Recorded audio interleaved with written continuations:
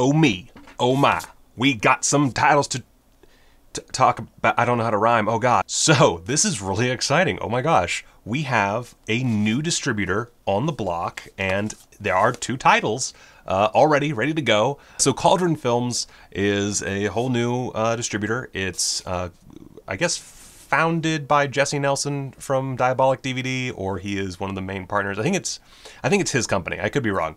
Uh, I've done the, the bare amount of research, but uh, uh, from my understanding, it is Diabolic DVD's very own Jesse Nelson, who is, of course, a great guy, just for giving us so much as fans of niche cinema. And uh, you know what? You might as well pay the guy back by buying some titles from his new company, because spoiler alert, they're pretty fucking good. So when, this is a dumb thing, but I, I hate that it's um, that American Rickshaw is number one and Abrakadabra is number two because uh, I put these uh, my shelves are organized uh, alphabetically. So let's let's just dig into these. Um, Cauldron Films, by the way, um, I I'm recording this well ahead of time. So I don't know if at this point they've announced their other two titles, but they do have, of course, two European titles, 170s, 180s, uh, also in the making. I don't know where they are with that, but I'm very based on this. I'm very excited to see what they come up with. So I love, first off, just uh, my general uh, impressions right off the bat. I love, first of all, that we have a new title in the lineup. Uh, a lot of these companies are really all about old titles. Uh, and, and Abrakadabra is, of course, a um, a take on the giallo, and it tries very hard to be a 70s giallo product. Um, so, in that sense, it's only new by virtue of the fact that it was made in 2018. But that's pretty cool. I, I like New Blood. Um, and the Onetti brothers seem like pretty cool dudes, so good for them being part of the like flagship product of a new label. That's pretty tight. And with American Rickshaw, I love that we're getting some obscure Sergio Martino joints. I love Sergio Martino, and anytime I can get my hands on like a new transfer of a Sergio Martino joint, I'm all about that shit. Uh, he put out some great work throughout his career, and uh, it's looking pretty good too. You know, he's, a little Fox.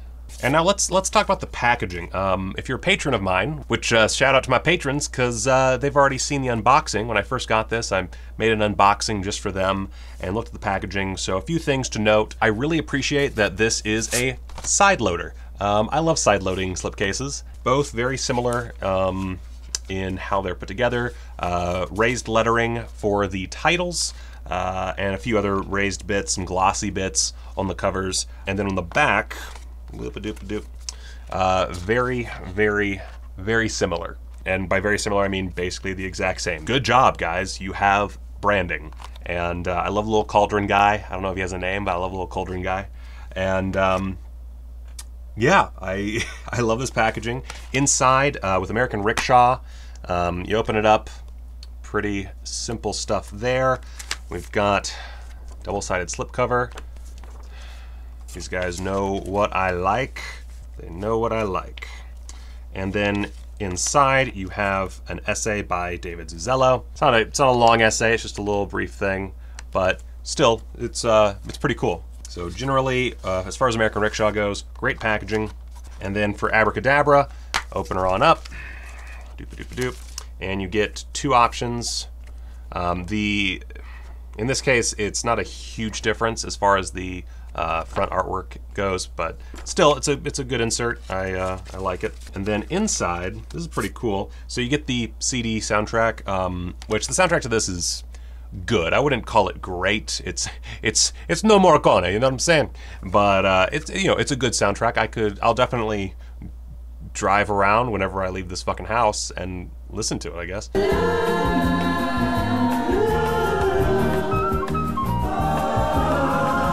But inside you also get these, uh, well, on one side there's the listing for the soundtrack, but then on the other side you get basically um, lobby cards, kind of cheap, flimsy lobby cards. Awesome. Um, you know, I'm not going to do any.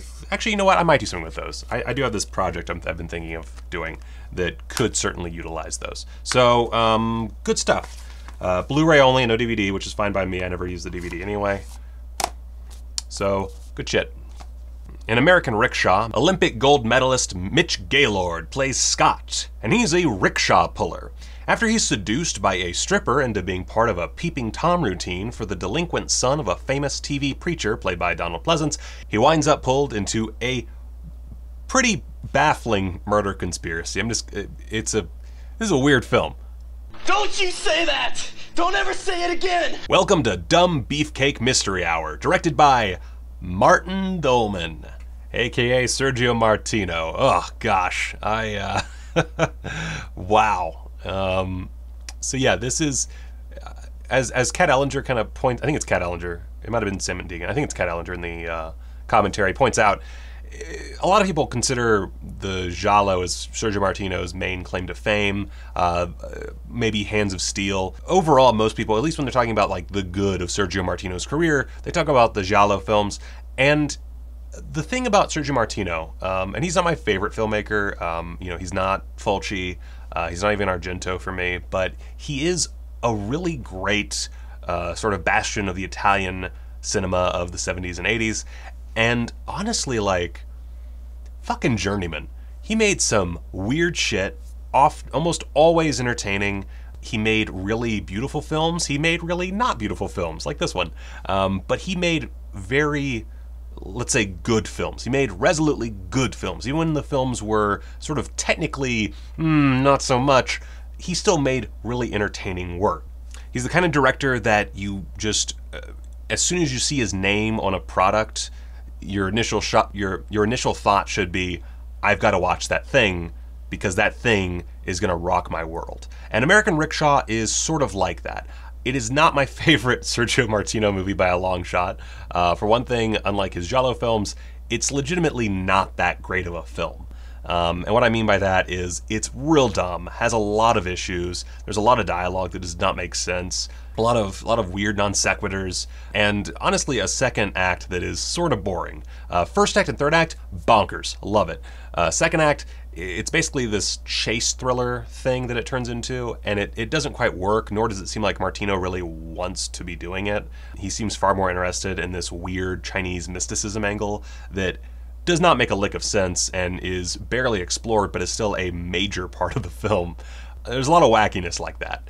And like there's it, it when I say it doesn't make any sense, this is a film that starts off with Mitch Gaylord picking up, I think, a Chinese woman, putting her in his rickshaw, pulling her along, and we watch in stunned silence as I'm pretty sure she's just followed around by a rain cloud.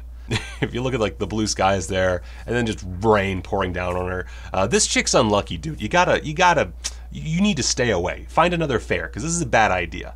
There's also the fact that uh, like half the movie, Mitch Gaylord, uh, which by the way, change your name for if you want to be an '80s action star, maybe Mitch Gaylord. Uh, toss that name, try a new one. I realize you were an Olympic gold medalist, but goddamn, in the '80s, not gonna work. And so if you look at the poster, the poster presents this what feels like a, a horror movie. Um, that's what it looks like. And there are horrific elements. There are some really gnarly, there's some gnarly shit that happens. But it's not a horror movie. It is barely a thriller. Um, it is a supernatural action film, I guess. It, it's it's hard to really give it a genre. It's very much a melting pot in that way. Uh, it has that very Italians working in America thing going on. I mean, if you look at, say, uh, probably the most famous example is uh, Claudio Fragaso's Troll 2, uh, where you're just like, what the fuck is this movie supposed to be? And, it, and this has kind of that same vibe. Uh, Troll 2 is probably more entertaining throughout. I mean, that's a film you could just watch again and again and never be bored. That's why it's such a classic in the kind of bad movie circle. That's why you have best worst movie out there as this like really you know, really successful documentary because it's just that good. This isn't quite that sort of like bad movie mecca, if that's what you're looking for, but it is entertaining and bonkers enough to give you kind of kind of give you your fix. The tragic downfall, though, of American Rickshaw is that it just doesn't provide much in the way of surprises outside of Martino's oddball choices early on and in the latter chunk. But it does come back. It does have a second wave to it, or a second second breath. Is that I don't know. God, I'm so bad at idioms. And the last 20 minutes, like, really is, it has to be seen to be believed. I think that by itself, the last 20 minutes make up for all the problems in the second act uh, to the point where I, I, I kind of am rethinking my Letterboxd. Like I'm gonna go back and change my Letterboxd rating right after this because I just realized I, I think I actually like this movie more the more I think about it. It's one of those films. Uh, it is a bit of a party movie. It is one of those films that I think will work better with a group. As a solo experience, I think it's a bit of a mixed bag, bordering on the positive side of things, but definitely a mixed bag. I found it in the gutter. I'm sure you're familiar with AIDS. Extras, extras, extras, extras. Let's talk about extras. First off, we get interviews with director Sergio Martino and production designer Massimo Antonello Geleng.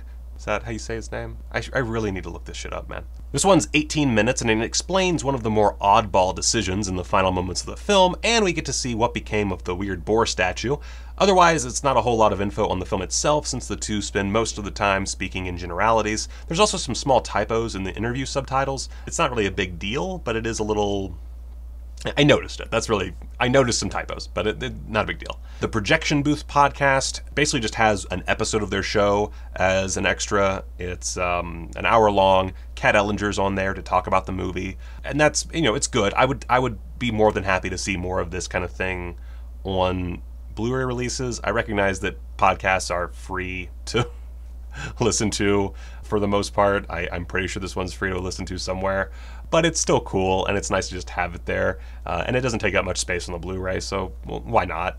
Uh, but you might be less interested to listen to this podcast because Kat Ellinger is elsewhere on the disc. Uh, as I mentioned, there's also a commentary with Kat Ellinger and Samm Deighan, and it's really good. Like, really good. Early on, Kat Ellinger let slip that one of the reasons she wrote her literal book on on Martino is because of this movie. It's the film that kind of inspired her to write her book, uh, All the Colors of Sergio Martino, and you know that's a that's a good sign. And shock of shocks, the rest of the commentary is very passionate, very knowledgeable about the source material, and honestly, between that and just me talking about the movie right now. Has amped up how much I enjoy this film. I still think there's serious problems. Do not take this as a it's a perfect movie or it's like the next camp classic. It's not. But it is a worthwhile addition to your collection, I think. Um, and with saying that, the, uh, what else we get is we get an image gallery and we get uh, Miami then and now, uh, which is basically it's, it's, a bunch of Miami footage um, that someone it looks like someone took on vacation, juxtaposed with images from the film. It's not very good. It's like two minutes long, and it it feels it literally feels like someone took their vacation footage from Miami with like one or two very specific samples of footage. And at the last minute was like oh i could make this an extra on this blu-ray. And they just like shoved some footage haphazardly uh, together to make it. And um, i get what they were going for but i just didn't particularly give a shit. but that being said, that's a minor quibble because the rest of this Blu-ray is fucking tight. Uh, the video quality is great, as you've seen from the footage you've watched in, in this video. It is a very good-looking release. Um, like a lot of these, this period of films, it's very flat looking, um, but the clarity is there. It's retained its grain structure. I didn't see any coding issues uh, when I watched it, and that's all good. Like, cool, awesome, dope, dope. Check it out. So next up, Abrakadabra. Abrakadabra is uh, also a mixed bag of a different variety. This one I was not too big on when I first started watching it.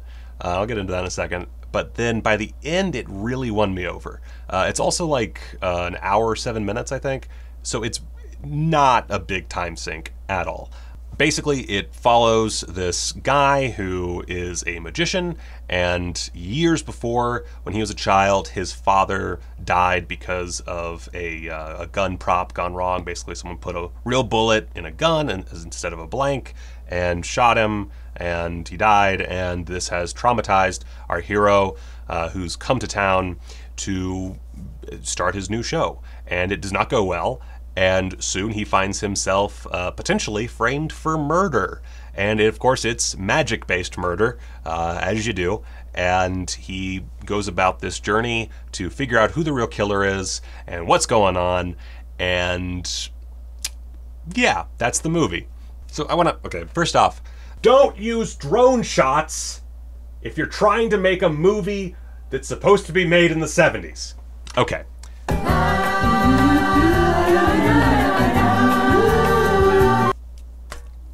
God. So, all right. My one, the thing that actually took me out of this movie right off the get go, and the thing that really hurt me watching it for the first like 20 minutes, is there are times where it becomes aggressively obvious that this was not shot on film. And that's fine. I, I, do not care that it wasn't shot on film. I am perfectly fine with movies imitating the film look. 100% do not care. I would prefer that it was shot on film, sure, but this is also a very niche product that does not have much of any audience, so I am 100% okay with the fact that it is shot digitally. That being said, if you're going to do that, you need to take certain precautions. One, don't use drones. Simple as that.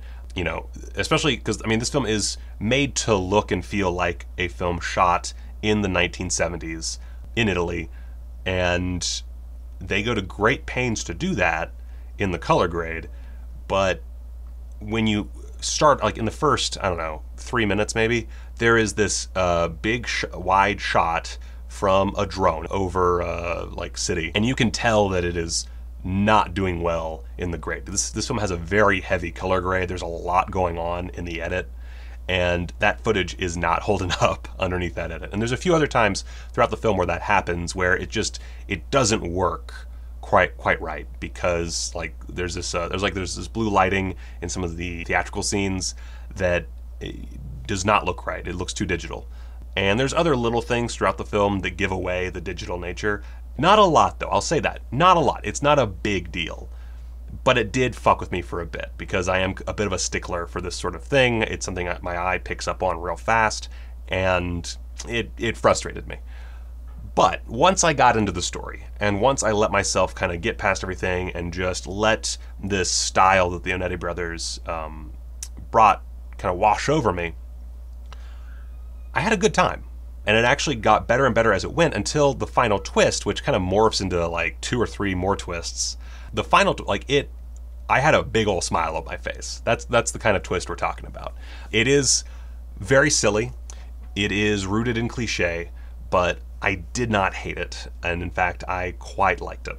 You know, it's this is not a perfect film. It's probably um, three and a half out of five if I'm being, and that's like my love of Giallo kind of shining through. I'm a bit of a of a simp for that uh, uh, faux Giallo thing. It is a good film. Uh, I do not think it is great, but I do think it is very good. Assuming that you are not a total purist and assuming that you can kind of just fanboy over stuff for, a, for about an hour.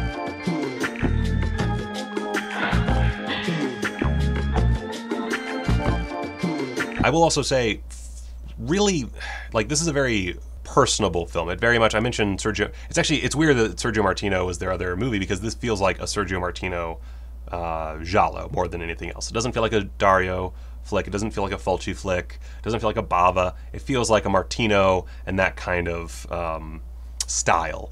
Very much, uh, if I had to compare it to one movie, maybe um, Your Vice is a Room and Only I Have the Key. That's probably the best direct parallel. I could be forgetting one, but that's to me that's the one that really um, it reminded me the most of. It's a very, it's you know, it's this one guy. He's the main focus of the story. We really don't get a whole lot of other storylines unless they're directly related to him. Unsurprisingly, because of course this is an hour-long movie. What do you expect? But there is this issue that the film doesn't really seem like it wants to do more with the subject matter, and I think that's the other, that's the glaring flaw. That's what really stops this from being a four out of five, is that it it seems like it's more interested in aping the Giallo style than it is in creating a film that stands on its own.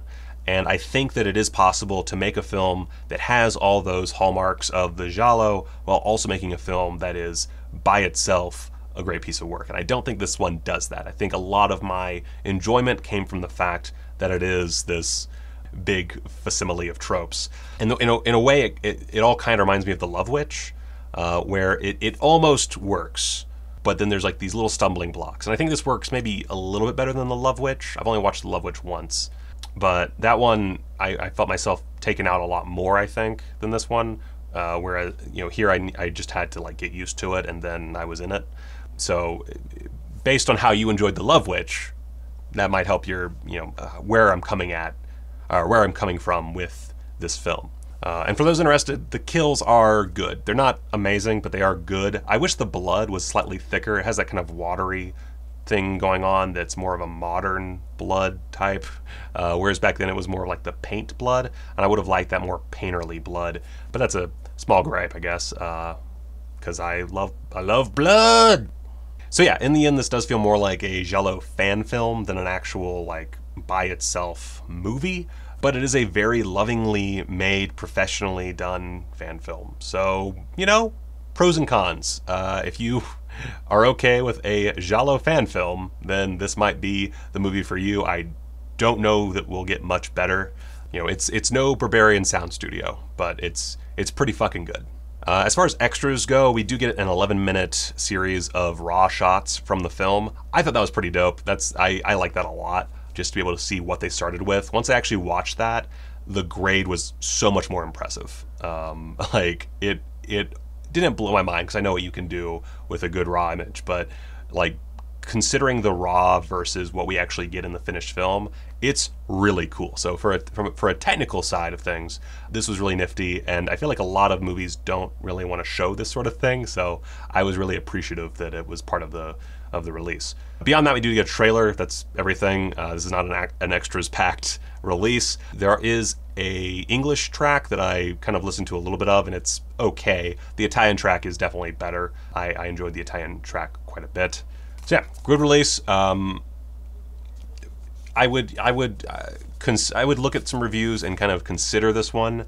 I don't know that it's what my viewers are looking for, but I am the guy that did whose whose entire filmography is just loose like fan versions of other uh, famous movies basically. So i can't i can't give it any shit for that. Uh, it's a really lovingly made film that may or may not be up your boat.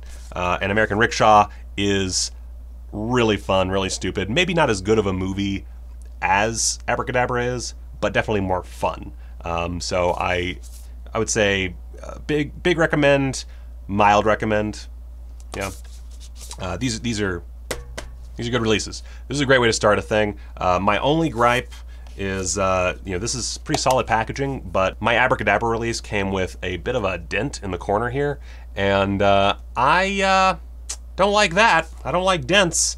Not doesn't like ruin it for me by any means. I don't have like a big chip on my shoulder whenever I get slightly damaged slipcovers, but one of my patrons mentioned that his slipcover was also damaged, so that concerns me. Um, if there's, you know, the two people that I know who have gotten this release so far got damaged slipcovers, that could be a QC issue. But uh, also, this is a new company, and you know, while they should know their shipping shit and basically everything else based on Diabolic DVD's history, I'll cut them some slack. I get it; it's hard. Other than that one small gripe, great start. I can't wait to see what Cauldron Films comes out with next. Uh, I hope they're around for a long time, and I look forward to collecting more of their releases. Great job. And yeah, with that being said, thank you so much for watching this review of the first two Cauldron Films releases. Uh, I look forward to uh, talking at your, your, your face holes in the future. Don't forget to follow me on Facebook, Twitter, all that jazz. Of course, my Patreon. Uh, give me some money if you want to, or if you don't want to, don't. Eh, whatever, man. Uh, we have a lot of cool bribes for people who give money, and uh, I uh, I love the community that we're slowly creating. Uh, the Discord is one of my favorite things. I barely use Twitter anymore because of it, which is great because that shit is is not good for my uh, my my heart. So yeah, once again, thank you so much for watching, and uh, go watch a movie.